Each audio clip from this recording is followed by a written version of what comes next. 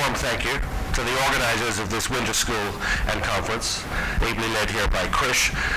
It's a major uh, activity, a major, huge amount of work to organise this sort of thing, and warm thanks to all of them for the success that it's been.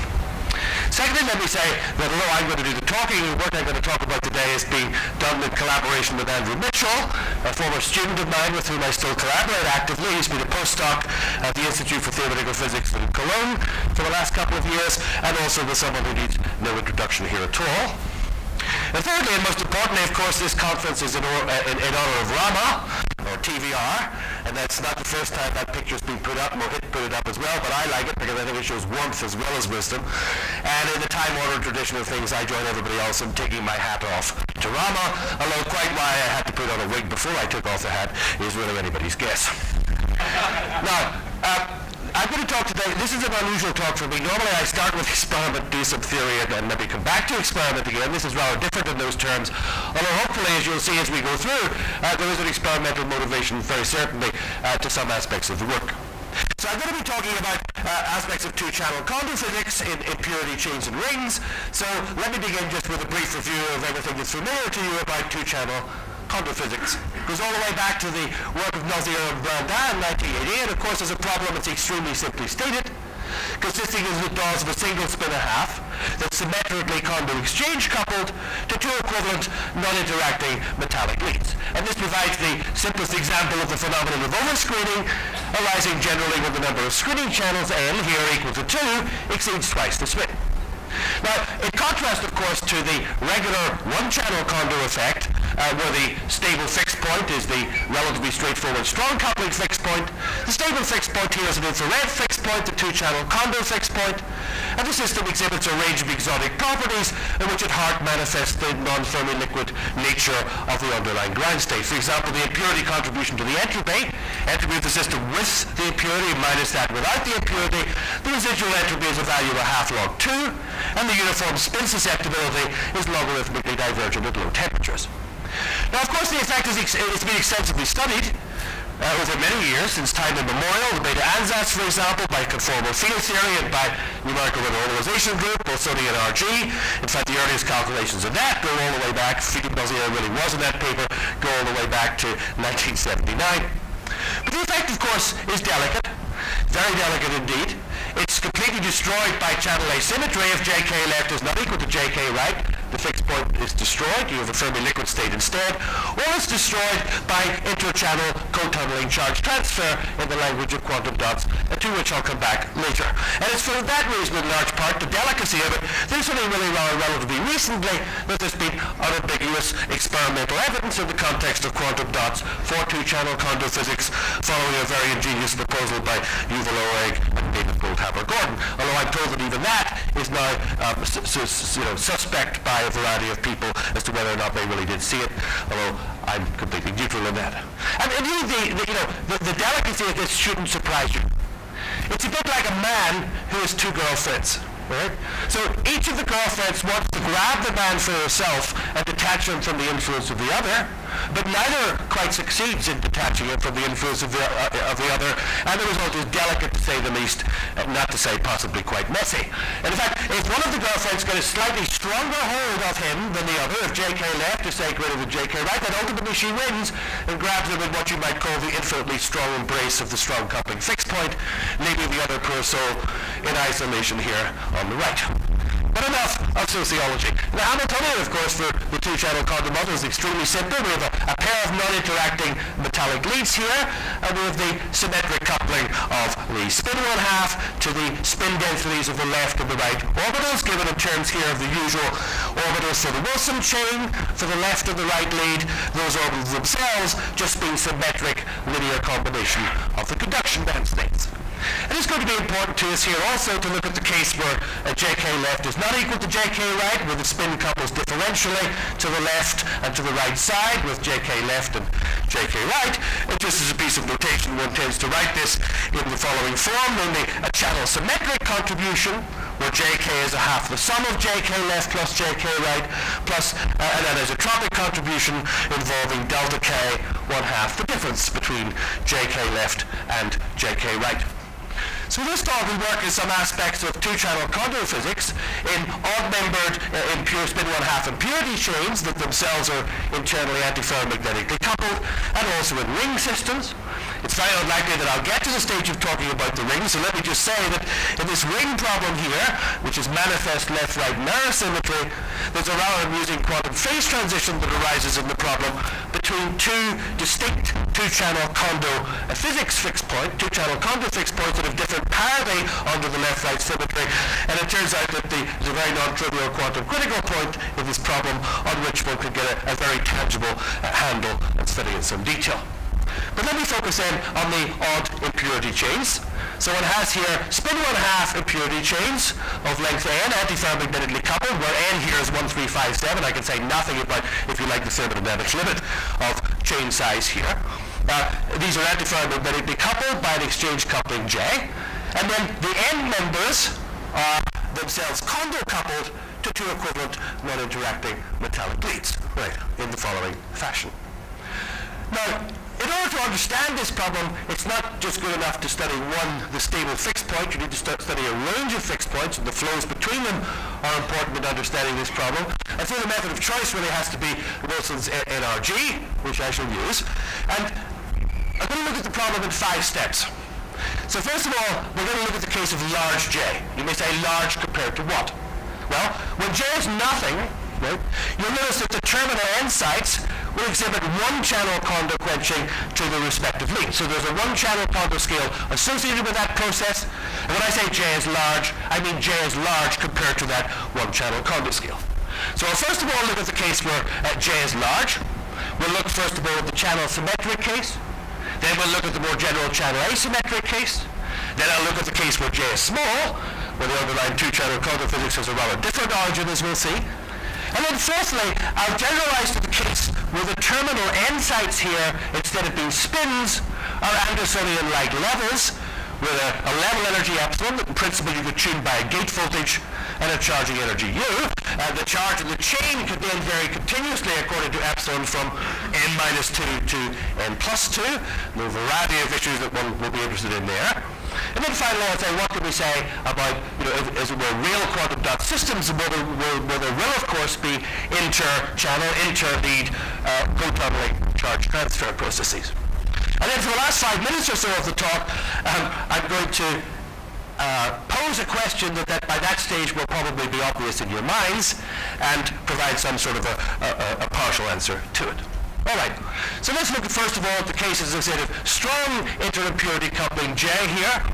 And the first thing, only point you need to notice here is that if you look at the isolated chain itself, it's an odd-membered chain of spin a half impurities, antiferromagnetically coupled, and so the ground state of that chain is itself a spin one half object, and the excitations of the chain itself above the ground state are typically in the scale of J.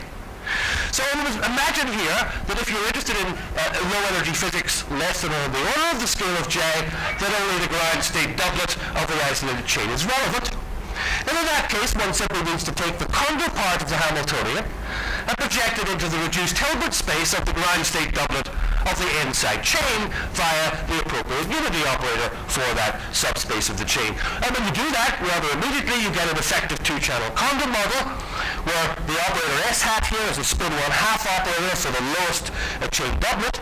And when the effective exchange couplings and likewise effective anisotropies are given by the bare JK, half JK plus JK left or equivalent to the bare delta K, times a matrix element that simply uh, reflects the z components of the end spins in the ground state doublet of the n-side chain. It is straightforward to work out. The ratio jk effective over jk decreases as you increase chain size, as you might expect, although not dramatically so. All right. But let's begin then by looking at the channel symmetric case, where jk left is equal to jk right. We know in that case that the two-channel Kondo fixed point will be stable, as together the scaling, you expect two-channel Kondo physics below a two-channel Kondo scale on the order of jk effective times e to the minus 1 over rho jk effective. Rho here is just the lead density of states, 1 over 2d. It's a flat band of width 2d, and d is by far the largest energy scale of the problem.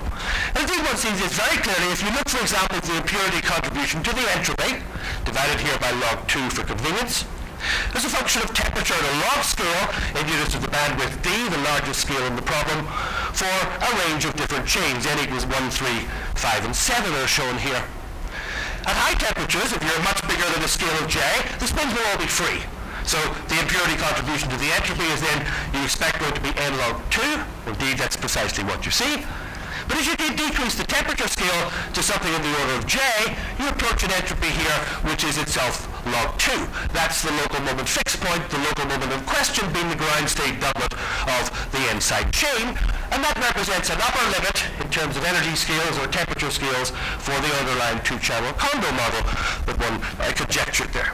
And then, of course, as you decrease the temperature further, you flow from the local moment fixed point with its characteristic log 2 entropy to the two-channel Kondo fixed point with its characteristic 1 half log 2 entropy on a two-channel Kondo scale, TK two-channel Kondo, that varies according to the length of the chain, 1, 3, 5, 7, and so on.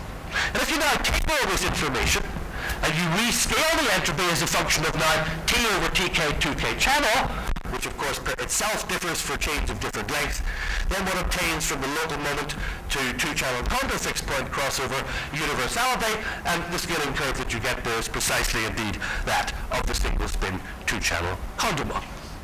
And one see similar behavior in, in, various other physical properties. If I look, for example, at the uniform spin susceptibility as a function of T over TK to, to channel, we again get universal scaling for different ends. And you see here, this is exemplifying the logarithmic divergence of the uniform spin susceptibility as T goes to zero, which is a characteristic of the two-channel uh, Kondo state.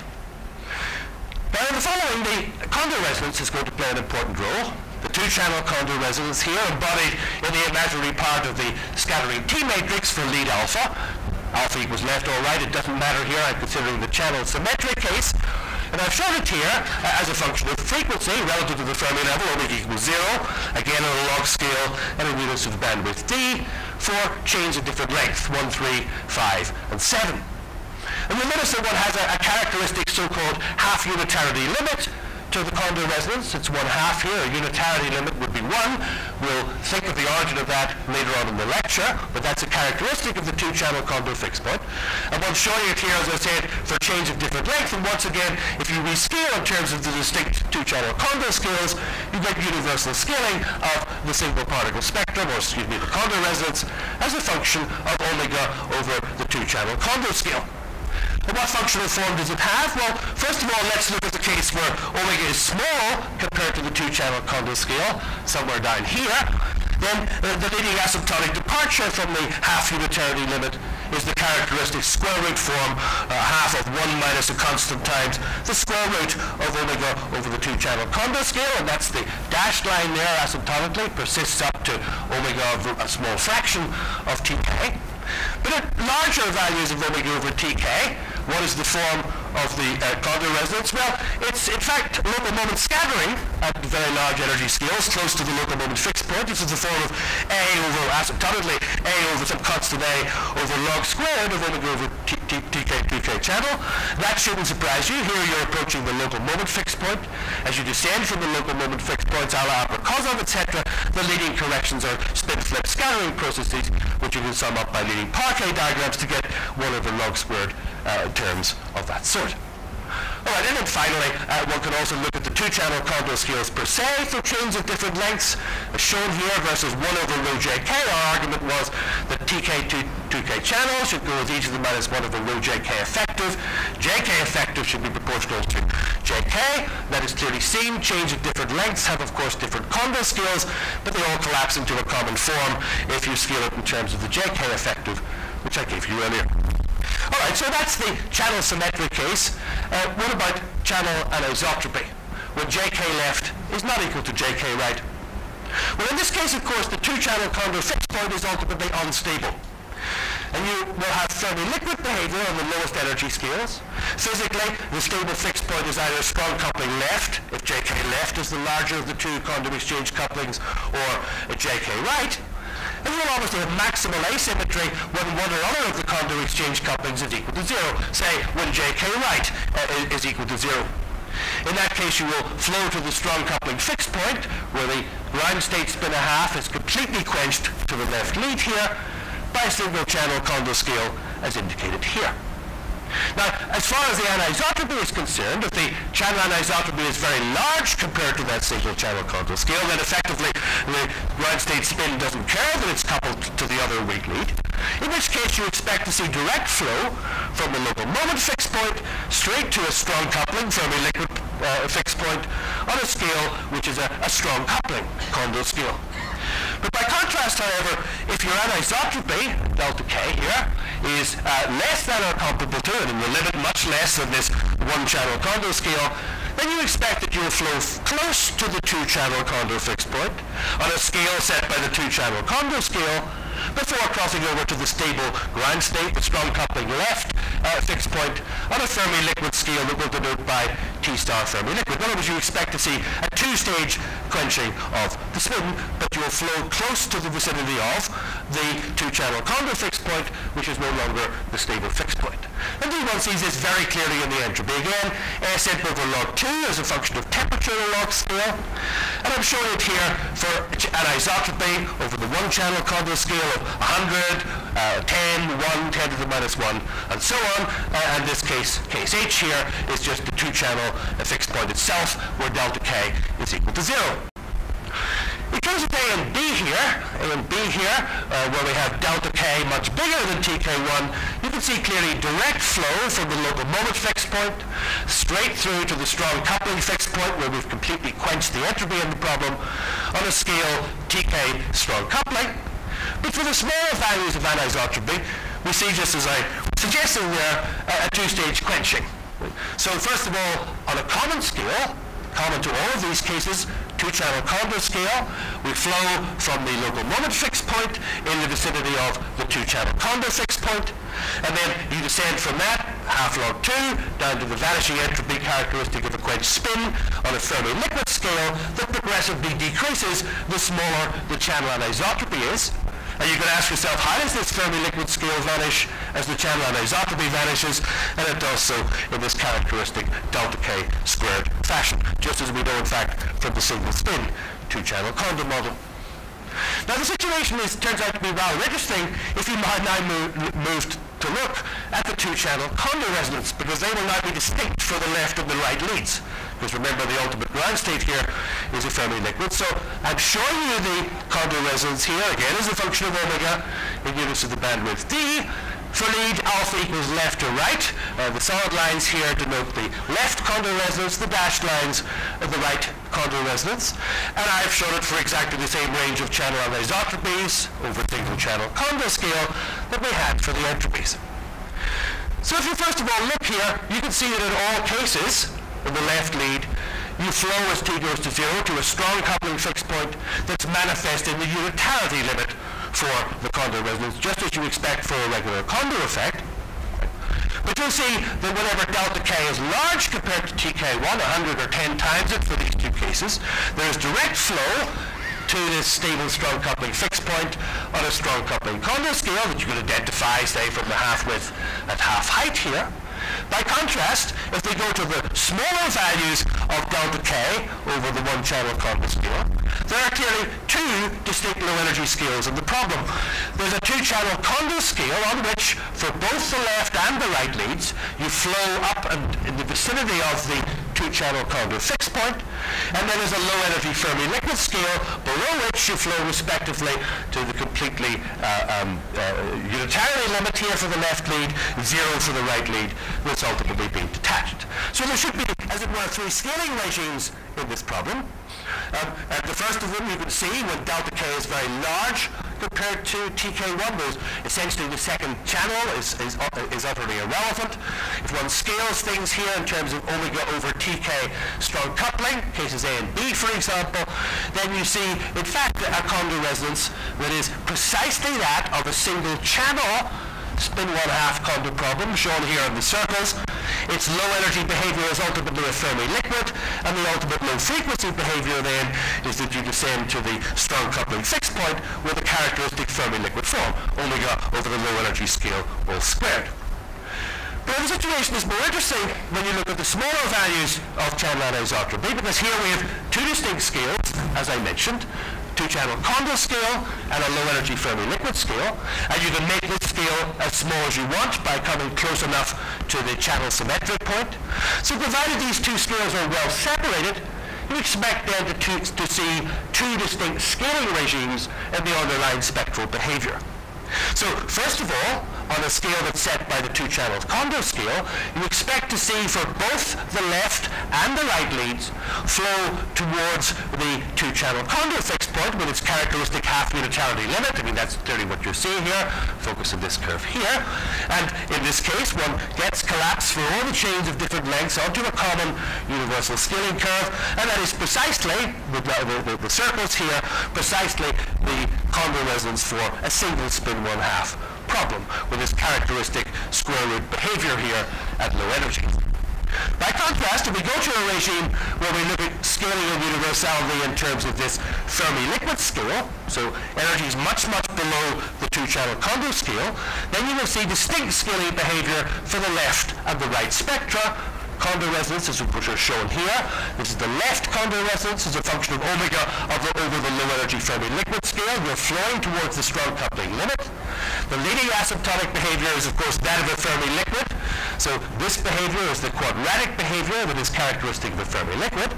But equally, you can ask, well, what happens if you go to energy scales which are much larger than the Fermi liquid scale, but much less than the two-channel Kondo scale? Well, ultimately, you must flow close to the two-channel Kondo fixed point at its half unitarity limit and indeed you do as indicated there, and dk right is just 1 minus dk left. And there's a very nice recent, uh, following this work, there's a very nice recent paper on a conformal field theory description of these crossovers in PRL by Eran Sela, Andrew Mitchell, and Lars Fritz. All right, let, let me just one other point, because this will become relevant later. Notice that if for some reason I was to look at half the sum of the left plus the right Kondo resonances, I wouldn't see any sign of the Fermi liquid behavior at all. I mean, put crudely, this upturn here exactly cancels this downturn. If I took the sum of the two, I would actually get this. I would actually get a two-channel Kondo behavior. That will become relevant later on. All right, now very briefly then, comments on weak interimpurity coupling. As I mentioned earlier, for J equal to zero, the terminal spins here, the interior spins are all decoupled, but the terminal spins are one-channel Kondo coupled to the respective leads. And the fixed point is in essence Fermi liquid-like, or it is Fermi liquid-like. I'll call it strong coupling times strong coupling times local moment, it's just indicating that the terminal spins are respectively quenched to form strong coupling case states to their leads, and I'm left with a free local moment in the interior. And we know that this happens at a one-channel Kondo scale that we know from perturbative scaling is d root rho jk e to the minus 1 over rho jk. So, so what happens when j is, well, asymptotically much less than that one-channel Kondo scale? Well, and let's focus on the uh, three-side chain. Here it is. Anti-ferromagnetic exchange coupling constants here. Then this is a schematic of the Wilson chain representation of the left lead and the right lead. The left zero orbital, the right zero orbital, one orbital on the left, one orbital on the right, etc. This is stuff I did in my school lectures, so the students will be familiar with this. But what happens, of course, is that if the one channel, if your J is much less than the one channel Kondo scale, then the terminal impurities, one and three in this case, will form single channel Kondo singlets on a scale of the one channel Kondo scale, leaving the central spin 2 here at nominally free. But of course that central spin can then acquire a residual antiferromagnetic exchange symmetrically to the remaining orbitals of the leads or Wilson chains by a virtual polarization of the intervening Kondo singlets. And so that once again implies that the effect of the energy model will be two-channel Kondo again, but with a JK effective that you can work out by a variety of perturbative arguments that is proportional to J over TK one channel Kondo. So if J is much less than that, this is much less than 1, and this is a, an n-dependent, chain-dependent factor that we can actually figure out and understand.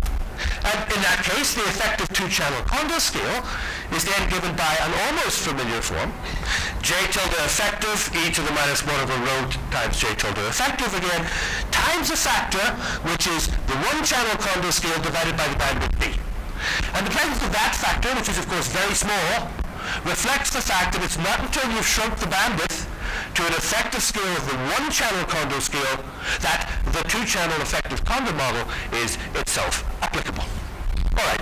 And And one sees this, for example, this behavior I've been discussing. If you look at Kondo resonances versus uh, frequency again, uh, I've looked at it here for J over the one-channel Kondo scale, 10 to the minus n over 10, where n goes from 0 to 5, 7, 9, etc.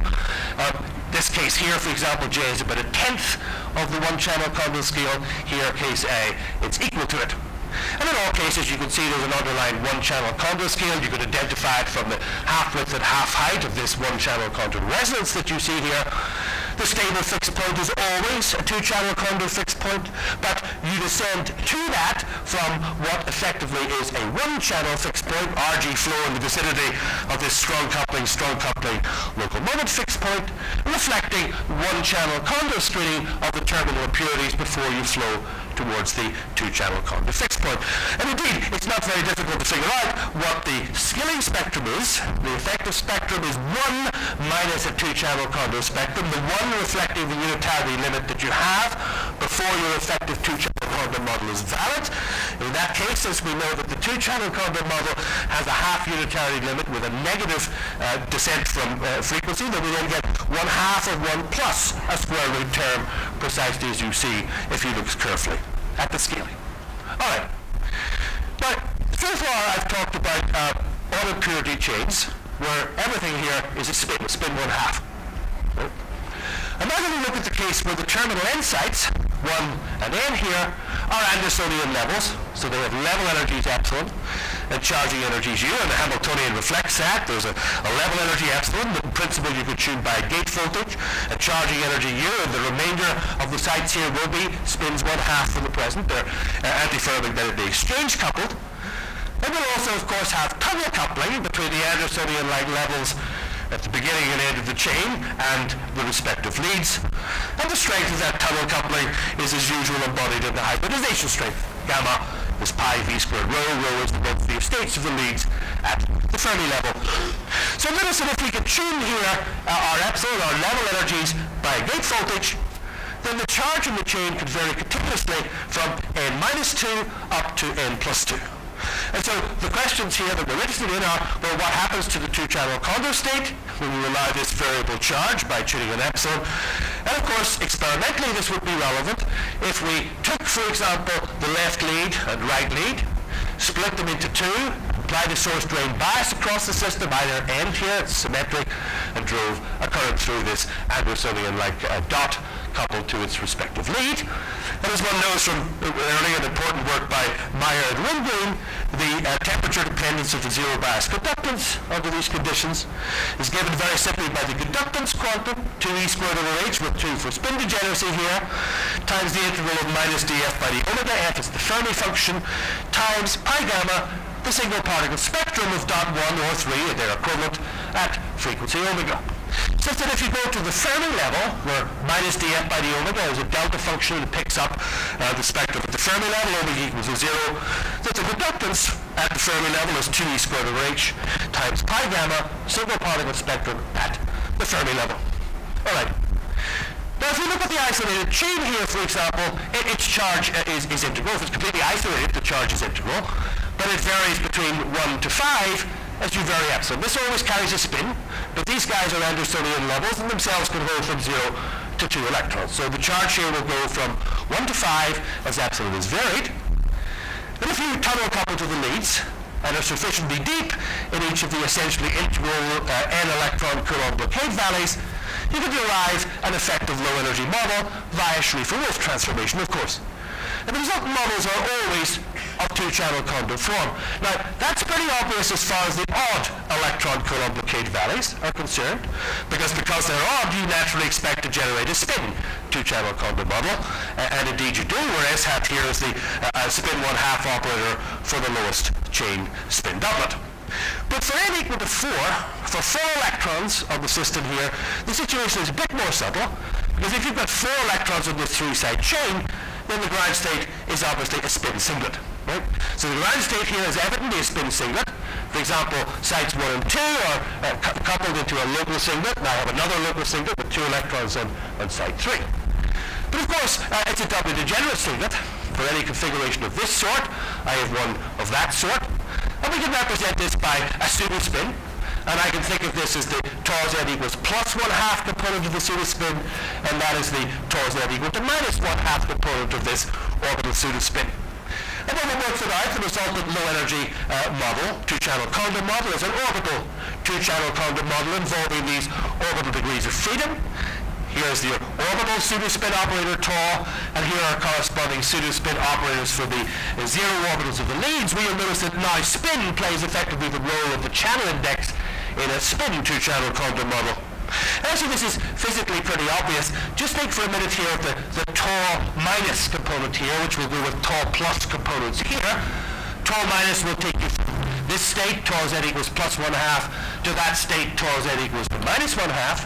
And you'll notice that that appears to involve a transfer of charge from site 3 here to site 1. There is, of course, no net transfer of charge across the central diagonal because it's a spin. Of course, that is immediately uh, compensated for by the fact that tau minus goes with tau 0 sigma plus, and tau 0 sigma plus destroys in the left and creates in the right, ensuring therefore that there's no charge transfer in the system.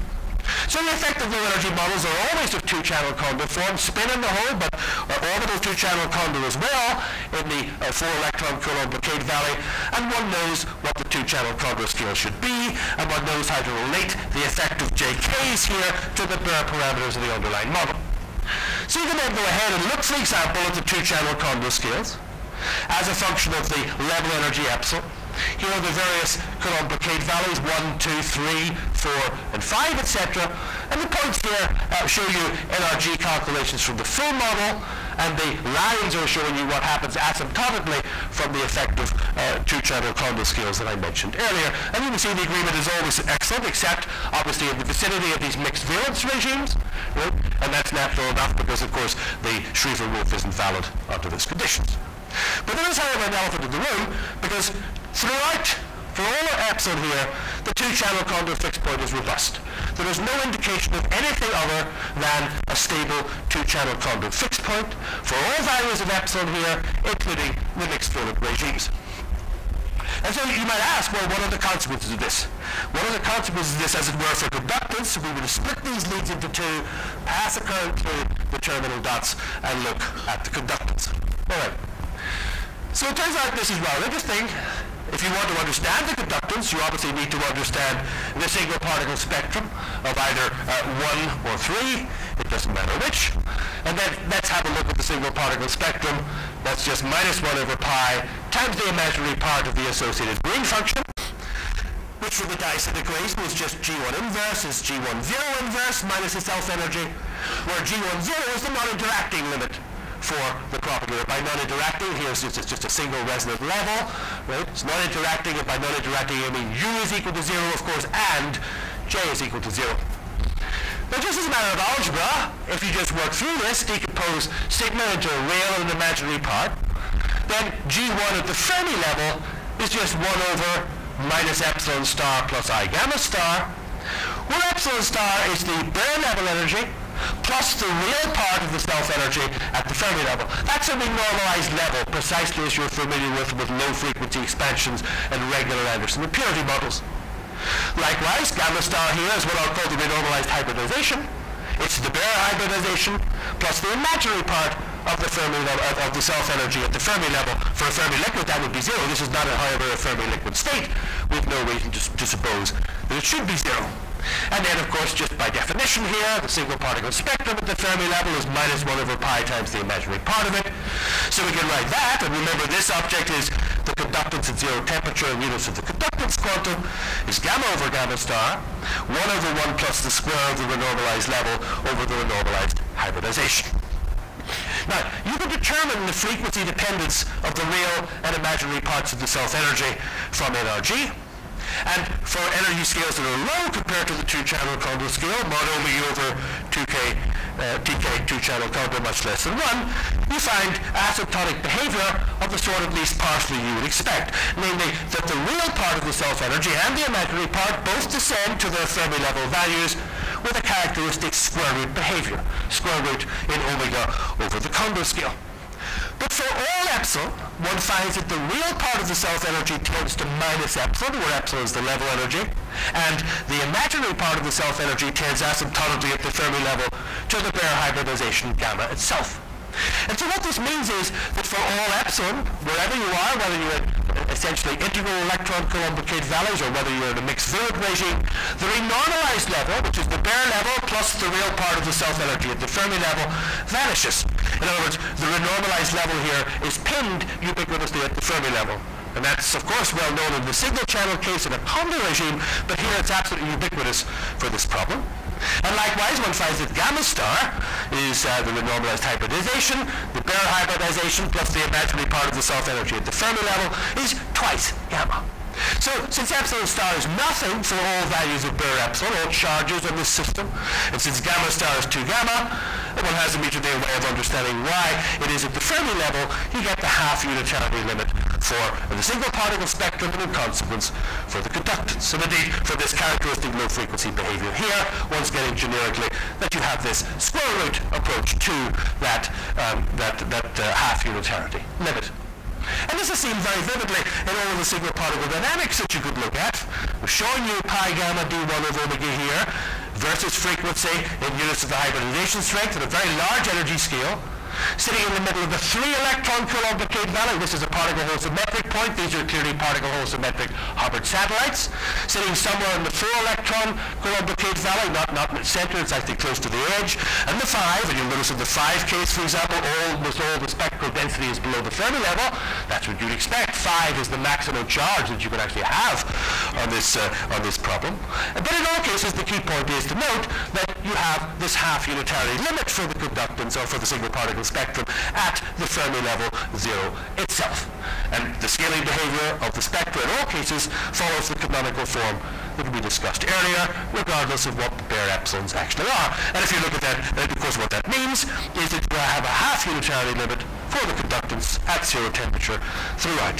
And if you want to interrogate the temperature dependence, once again you have this characteristic square root approach to the half unitarity value of conductance. Now, you can ask yourself, what are the implications of the fact that the single particle spectrum is always pinned to this half unitarity limit? And there are various of those. One is a free Luttinger sum rule, which is an exact thing. I'm not going to skip this in the interest of time here. But the second implication I just want to mention is really, what about the phase shifts for this problem? How does the S matrix behave? All right, how does the S matrix behave? Well, the S matrix for scattering of electrons, through here, this way, be written as e to the 2, uh, 2i delta with a phase shift delta that can be separated into a real plus i times an imaginary part. And the S matrix is related to the propagator G1 by S equals 1 minus 2i gamma times G1 of omega. And so just as a trivial identity, since the single particle spectrum is minus 1 over pi times the imaginary part of G1, I can relate pi gamma d1 purely to the imaginary and real parts of the phase shifts, and there it is, 1 half of 1 minus e to the minus twice delta i times cos twice delta real. Now just notice here, uh, amusingly, that if delta i were to vanish, this is 1, as a trigonometric identity, pi gamma d1 of omega is then sine squared delta real of omega if delta imaginary vanishes. And that, of course, is precisely the situation you have if you have a Fermi liquid. Whereas you approach the Fermi level, the imaginary part of the scattering phase shift vanishes, and you have that pi gamma d1 of, of 0 is then just sine squared times the phase shift at the Fermi level, which itself is related to the by the sum rule to the change in uh, charge of the system induced by addition of the impurity. Of course, the system is not a Fermi liquid. It's not a Fermi liquid, uh, but you'll notice also that if delta imaginary of omega went to infinity, once this second term completely vanishes, that the pi gamma d1 of omega would go to a half.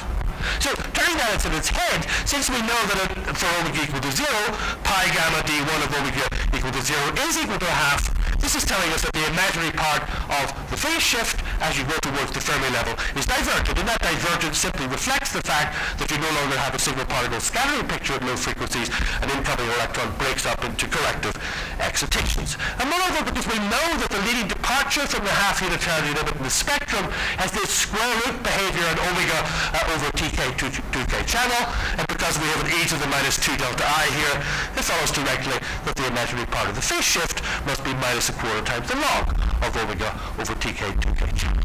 All right. then let me comment briefly on real quantum dot systems.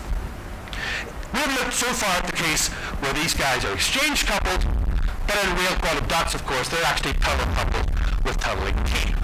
So even for left-right symmetric systems, the two-channel Kondo fixed point will be rendered unstable by these interleaved co-tunneling charge transfer terms, and you will have crossover to Fermi liquid fixed point on some low energy scale, T Fermi liquid. So what can we say about that kind of a problem? Well, first of all, remember a familiar fact, which is that a single impurity Anderson model coupled to two leads does not exhibit two-channel Kondo physics. This is familiar at the level of the Schrieffer-Wolff transformation. There are many ways to see it. I gave one example in my school lectures, but another way to see it is at the level of the Schrieffer-Wolff transformation, where you separate the problem into the leads plus a Kondo-type Hamiltonian, and the Kondo-type Hamiltonian arising from Schrieffer-Wolff can be written in terms of two components. One is a channel symmetric piece, channel symmetric contribution. And the second, where, where, you your S left zero and S right zero are as usual, you know, the spin densities of the left and right leads at the origin may involve solely the uh, F orbitals for the left or right leads plus a piece that physically describes co-tunneling charge transfer between the left and the right leads. And where the S left right zero here involves destroying a right creating a left or destroying a left creating a right, this involves interlead co-tunneling charge transfer. Now all you have to do at this stage is make a transformation from the left-right basis to an even-odd basis for the lead states characteristic symmetric or anti-symmetric combination to form new f orbitals. And when you do this, the Kondo Hamiltonian becomes jk s dot now s even plus s odd plus j left right s dot s even minus s odd. Now the only point I want to make here is that for the single impurity Anderson model, rather obviously j left right is equal to jk, in which case coupling to the odd channel completely drops out. This is a problem in which you couple solely to the even channel. It's a one-channel Kondo problem. You therefore have one-channel Kondo physics only. But now when we move to odd dot systems with three or more uh, uh, sites or dots in the chain, you expect to have exactly the same form for the underlying effective uh, problem, where S here now denotes the spinor half for the lowest chain doublet. Exactly the same form where the J left right here again embodies co-tunneling charge transfer between the leads but with your j left right not equal to jk. In fact, simple parallel counting would suggest that j left right is down in jk by 2 over u to the power n minus 1, where n is the number of sites in the chain. And then once again, transforming to even and odd channels, of course, precisely the way we did there for the single impurity case, you see that the problem here now becomes a channel asymmetric two-channel Kondo model where you expect the two-channel Kondo fixed point to be visible on intermediate energy scales provided J left right is sufficiently small compared to Jk. And indeed one sees that in the entropy as you would expect, S imp over log 2 versus the temperature. For a range of different J left rights embodying the interleaved co-tunneling charge transfer to Jk of 1, 10 to the minus 1, 10 to the minus 2, etc. And this is the pure two-channel Kondo line where J left right is equal to 0. The stable fixed point is always, of course, a strong coupling fixed point. You, however, will flow in the vicinity of the two-channel Kondo fixed point as you decrease the energy scale. Common two-channel Kondo scale, Fermi liquid scale progressively diminishing as your interleaved co-tunneling charge transfer gets smaller. But now if you actually look instead at the spectrum, now this is the channel symmetric case that I've looked at, so the left and the right spectra are the same as each other, you're for something of a surprise. Here's the spectrum uh, versus the frequency. And as you can see, the Fermi liquid scale is not in fact apparent. Uh, if I look at cases C to G, which are precisely the same as C to G here, they're all indistinguishable from each other as a function of frequency. And this reflects the fact that the problem we have here is channel asymmetric in the even and odd channels. So if I want to construct the left or right spectrum, I have to take a combination of the even plus the odd, and the upshot of that, rather ironically, is that the Kondo resonance is effectively blind to the Fermi liquid crossover that is induced by small interlead co-tunneling charge transfer. And the two-channel Kondo fixed point then appears to be stable on the lowest energy scales, even though we know it's not. In other words, ironically, the crossover out of the non-Fermi liquid regime is not in fact apparent. Now, uh, Christoph, maybe, I maybe have just one minute to mention one point, not going to say anything about it. The one question that you may have in your minds is, Why has he been talking about odd member chains? Well, it's to get a handle on the two-channel quantum physics. But what about even member chains, of which the obvious canonical model would be two impurity Kondo, right, which is two spins one half, right, which are themselves Kondo exchange coupled to right and left leads and mutually antiferromagnetically coupled by J. The Hamiltonian for that is familiar, and you'll notice that with J equal to zero, we once again have a doubled spin one half Kondo problem with a Kondo scale TK. And the physics of this is quite well known long studied. Goes all the way back to work by Jayaprakash Krishnamurthy and Wilkins in 1981. It's been quite extensively studied. There's a Kondo singlet phase when J is sufficiently small compared to a critical value. These guys are Kondo screen to the respective leads. There's a local singlet phase where these guys blow up and drop out of the problem when J is greater than J prime critical. And a quantum phase transitions here occurs when the JC is in the order of TK uh, with a non-trivial infrared critical fixed point, the two impurity Kondo critical fixed point. Now, people know that there's some connection between these fixed points. They have different properties on the one hand, similar properties on the other. Do I have two minutes to, to, to, to count on that? Okay, so let's just compare two channel Kondo and two impurity Kondo. Two channel Kondo again, everything that we've discussed so far. Remember that the two channel Kondo fixed point is destabilized by any channel anisotropy. Secondly, remember that this is a characteristic residual entropy of a half log 2 and a log divergent uniform spin susceptibility. Thirdly, note that the finite size spectrum, which is the spectrum of energy levels that characterizes this, this fixed point, is characterized by a set of fractions. Never mind what those are, it's not important. And finally, let me also illustrate the asymptotic T-matrix and hence conductance as a smoking gun from the viewpoint of experimental square root behavior, either in the source drain bias over temperature or temperature over the two-channel Kondo temperature itself.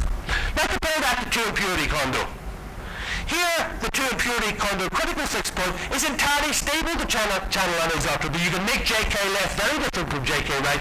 The fixed point is still completely stable, something that wasn't appreciated until really quite recently. But it has a characteristic residual entropy at one half log 2 again, uh, but it has a finite uniform spin susceptibility as the temperature goes to zero, at least in the uh, channel symmetric. The finite size spectrum of the two impurity Kondo critical point is characterized by a set of fractions here, but a different set of fractions than for the two-channel Kondo problem. And finally, while I mentioned that the two impurity critical point is stable to channel anisotropy, it's actually independent of channel anisotropy. You get exactly the same fixed point in all cases. It also amusingly happens to be independent of spin S. So what's the connection between the critical fixed points? And all I want to point out at this stage, and there's a conformal field theory proof of this, so I'm obviously not going to say anything about that except to state it, which is that the two impurity Kondo and the two channel Kondo critical fixed points are entirely equivalent. They lie in exactly the same marginal manifold parameterized simply by potential scattering. In other words, you can relate directly the critical fixed point of one model with potential scattering, say V left, V right, to that of another model, the other model with different potential scattering. They're fundamentally the same fixed points, and we can prove this, as I said, using CFT. But if you look at the signatures of two impurity criticality and conductance, right, they're very different. Because there's some connection between these six points, people looking for two impurity Kondo physics experimentally have assumed that you will have something like a half unitarity limit with a, a square root approach to it. In fact, that's not generally correct at all. The signatures of two impurity Kondo criticality reflect RG flow to the critical fixed point from higher energy fixed point, and those depend very sensitively, say, in parity breaking and so on. They're much more subtle than the square root smoking gun behavior that you expect in two-channel Kondo physics. And indeed, for the standard channel symmetric two impurity Kondo model, the widely expected square root behavior in two impurity Kondo as for two-channel Kondo is provably absent. And the asymptotic conductance is in that case linear in the source drain bias or temperature. All right, so let me just skip directly to the end there because there are people that I actually want to thank. I'm obviously not going to get through the rest of this. I didn't think I really would anyway. Uh, and the people that I want to thank are uh, people from my own group who've enlightened me a lot on these kinds of problems. My colleague Fabian Essler at Oxford, uh, Eran Sela, who's uh, we've collaborated with in the last paper we saw there, Ian Affleck and Mark Buitelaar from the Cavendish, with whom we're collaborating on experimental aspects of two impurity Anderson model devices. Finally, funding from EPSRC, UKIERI, and let me not forget the reason why we're here. Happy birthday once again, Rama, and thank you for your attention.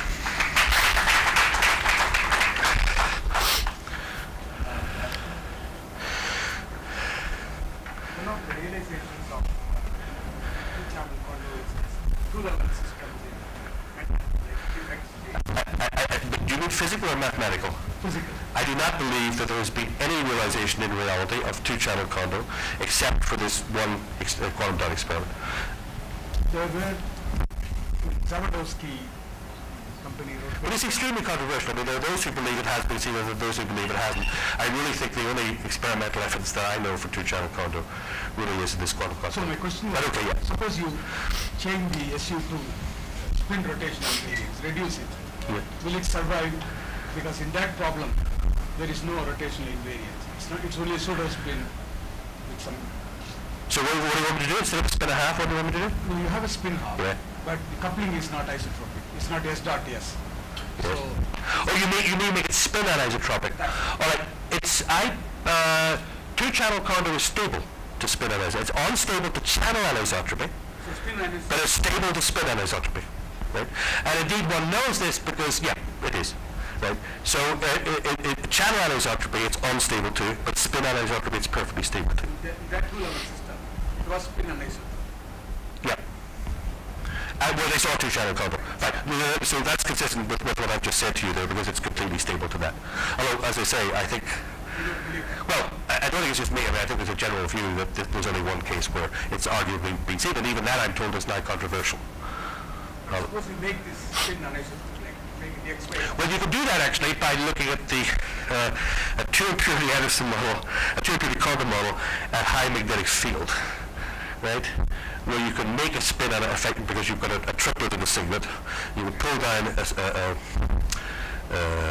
one of the triplet components, uh, the singlet, so I'm talking about the local singlet phase, and I will then generate an object which is a spin a half like object, but which is um, channel, a spin anisotropically coupled to its surroundings. So one can actually realize that in quantum, one should be able to realize that in quantum dot devices as well, just of the sort that be discussed. Now you can shout, Chris, because we can hear you. I could also do this, but really loud when the microphone arrives. Thank you. Um, so forgive me a, a technical question, but it's one that's always interested me. My notes. So, so this is about the instability of the two-channel Kondo fixed point to co-tunneling coupling between the leads.